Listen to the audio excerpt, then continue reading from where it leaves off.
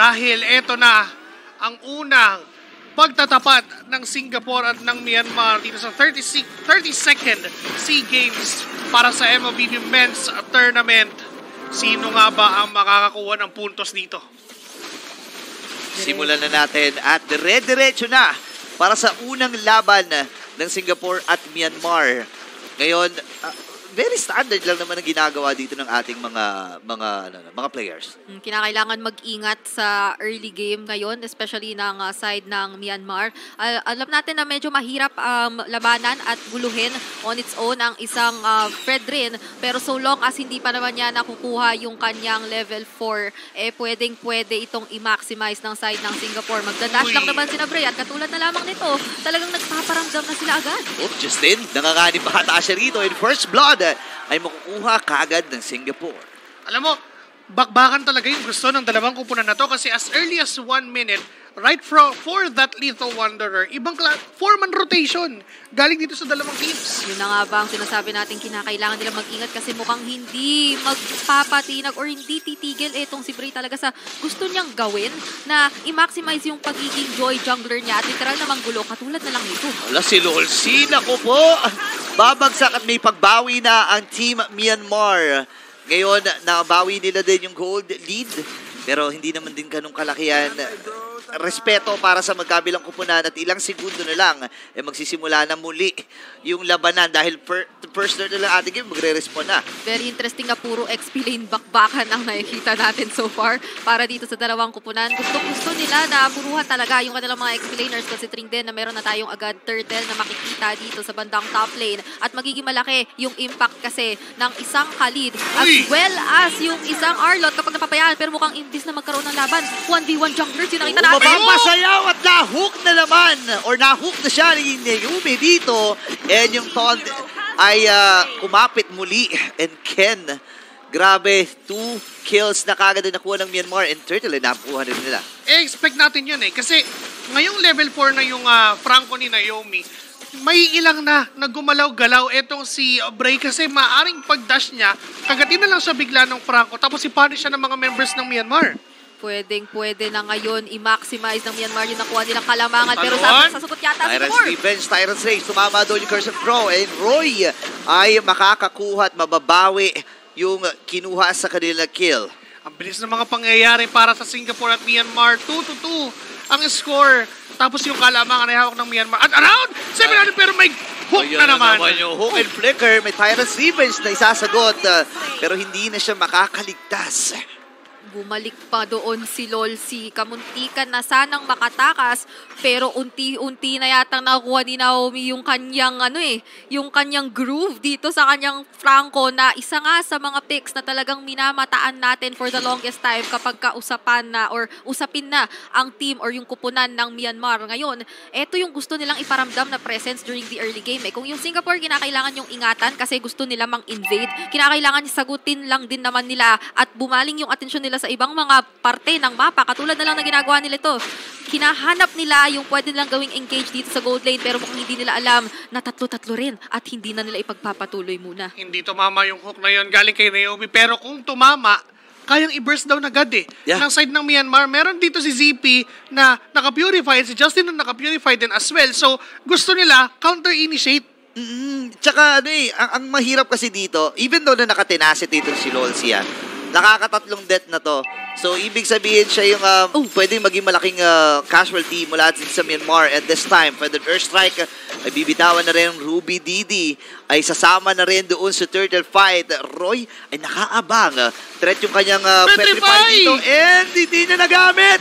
My goodness! Namatay siya against uh, Myanmar and double kill para kay Ken. Turtle na kuha rin niya. Ruby Didi with a kill and four members are down para sa side of Singapore. On point yung ginawa doon na execution ng Myanmar. Bukod sa napalow nila agad yung side or si Lolsi doon sa Kufra kaya hindi na masyadong naging kumpiyansa sa pag-engage ang side ng Singapore. Napakaganda nung na-provide na respo doon na netong si Ruby Didi dahil yung dauntless strike niya sumakto on to Roy kahit na napetri na niya yung dalawang players ng Myanmar kaya hindi niya nabuo yung kanyang combo, hindi niya na-cast. Sila pa yung na-catch off guard at eventually literal na nakuha ng Myanmar yung malinaw na kalamangan doon sa teamfight. Apat na miyembro ng Singapore yung nakuha nila at clutch retry pa ni Ken ang nakasecure sa turtle. Saktong-sakto yung pagkakalatag ng skills na meron ng Myanmar. And looking at this instant replay, ayun yung final slash na sinasabi nyo. Oh. Doon, strike talaga yung tumigil eh. Is yung stun lang na yon yung literal na bumili ng sapat na oras para sa side ng Singapore para ma-pull off yung gusto nilang laban. Pero si Diablat na ngayon, mapapatumba din. Ang sagot ng Myanmar ay isa na namang Torre. Wow, ang linis ng pag-ikot dito ng Team Myanmar. Nakita natin, right after ng turtle, hindi na nila hinayaan. Hawak na natin yung lead. Medyo naaurahan na natin ang bahagya ang Team Singapore. And si Ken, tingnan mo naman napakatapang. Hindi, hindi, kumbaga, kahit may threat ba ng kay, kay Bray, shot. wala siyang pakialam eh. Tinamaan ang appraiser shot and may Tyrant's Rage na bibitawan. Papasok na si Ruby Didi. Andun yung final slash. And Ruby Didi ay makakakuha ng kill. Hindi pa natin nakikita yung level of impact na inai-inflict ni Ruby Didi as the Arlot. Kung ikukumpara mo dito kay SGP Diablo talaga sa kanyang Khalid. Hindi pa natin nakikita yung mga raging uh, sandstorm na nagiging game changer para dito sa ating laban. Literal na nauunahan palagi ng Myanmar yung mga gusto nilang engages na gawin. And at the same time, hindi pa natin nakikita ang nasasagot ng Singapore yung mga laban na ginagawa ng Myanmar na sama-sama literal kasi lagi nila nahuhuli yung mga players ng Singapore na nakahiwalay at meron at meron silang na-isolate in a sense kaya laging na maximize yung numbers game para sa side ng Myanmar. Parang at first we thought yung purify na itong dalawang damage dealers ng Myanmar ay pang counter initiate pero hindi eh. Parang backup plan na lang Yeah. na mag-aangas sila na papasok doon sa base, papasok doon sa area ng Singapore. Tapos kung sakaling mahuhuli man sila, saka lang gagamitin pero hindi pa nga natin nakikita nagagamit halos. hindi nila kinakailangan gamitin yung Purify dahil medyo malinaw na nakikita natin yung kalamangan sa side ng Myanmar. Kung una inaakala natin na ikakapitalize ng Singapore yung uri ng lineup na meron sila na talagang medyo may pagka-aggressive in terms of yung pokes and even yung pwedeng gawing early game na panggugulo. Hindi yun naging problema para sa side ng Myanmar. Sinagot nila ito gamit or sa kanilang talagang pagsasama-sama at nakikita mo ngayon halos hindi na naghihiwalay si Naomi at maging si ZP. Kapag ka meron silang nahuli, enough na rin yung damage nila at this point para tunawin kahit sino ka pa. Yeah. Sama-sama lang talaga. And 70 seconds bago mag-respond yung Lord.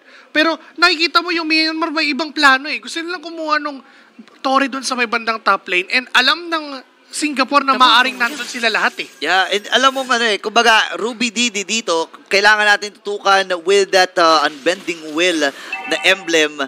Alam mo kagad na hindi ano eh, hindi siya eh, kumbaga pumunta siya rito para makipaglaban eh, makipag-away eh. 'Di ba? Alam natin pag bumababa yung buhay mo Oh, with yun that na nga. bending will, eh lalo tumataas yung damage mo. Pero speaking of the damage, Lol, eh, create na kagad ni Ruby Didi habang si Naomi na doon sa likuran and Justin with a kill, feathered Ursak at tumapos doon. Limang members kagad ang naka-backup. Ganun kabilis ang pag-respond dito ng Myanmar. Yung kalamangan ng Myanmar ngayon, napipilitan na lang si Roy na gamitin yung Breath of the Ocean ng malayuan eh. Literal na pang-cancel na lang sa habol na gustong gawin ng Myanmar imbis na magamit niya ito kasama nung kanyang combo para makahuli at makabawas ng players sa Myanmar. Kasi kung ayaw nga talaga nila ng mga pick-offs na nakita naman natin sa kanila draft pa lang, ngayon ganun na ganun yung ginagawa nila hanggang kahit saan ka tumingin sa minimap, halos bibihira lang sila maghiwalay. Meron mang mahihiwalay sa kanila, si Ruby Didi lang yon at hindi pa sobrang nalalayo sa ibang mga players dito ng Myanmar. Tapos ang hirap pa patayin ni Ruby Didi habang mag-isa siya. Yeah. 'Di ba? Parang yung Singapore ngayon, yung natural na mechanic ng mga skills na meron sila is to engage yung Raging Sandstorm. Nandyan din yung rough waves ng isang uh, kadita. Pero hindi nila nagagamit sa ganong paraan. Well, in fact, parang defensive pa nila nagagamit yung ganong skills. So doon pa lang, alam mong may problema eh. Alam mong hindi sila nakakasabay doon sa potential ng Myanmar. Oo, oh, tinan mo, may conceal play pa sila na ginawa. Wala lang talagang inabutan na para dito sa Singapore. And uh, dalawa rin kasi inaasahan dito ng Myanmar eh, no? Depende yon kung ano yung pipiliin nila. Eh. Pwede pang single target, nandun yung hook. Pwede rin namang AOE with that uh, final slash. And ngayon yung Lord, the level 1 ay nasa gitna. Makaka-pick off na ba sila ng isa? Andun yung pagtalon. Pwede Ursa, Ang ginamit na nga rin ang sakit. Isang bagsak lang yun kay Roy, ladies and gentlemen. Oh, and andun yung pagtalon. Final, Final slash! Final slash! Naku, tinamaan si Roy! At siya ang babagsak. Lord ay buhay pa rin. Jason dito. Kaya lang na hook. And yung Bloody Hunt, mamamatay dito yung Roamer. Same with Diablo. Ngayon, hinahabol na si Bray. Pero hindi na nila pupuntahan pa. Si Baby Kicks na lang natitirang di depensa. Yung catapult ay namaalam na rin. Pero yung second wave ng minion ay nasa may bottom lane na. This might be the final push. Pero mababa na rin lang yung death timers ng mga members ng Singapore. Pwedeng um, sabihin na natin na umatras muna ang Myanmar.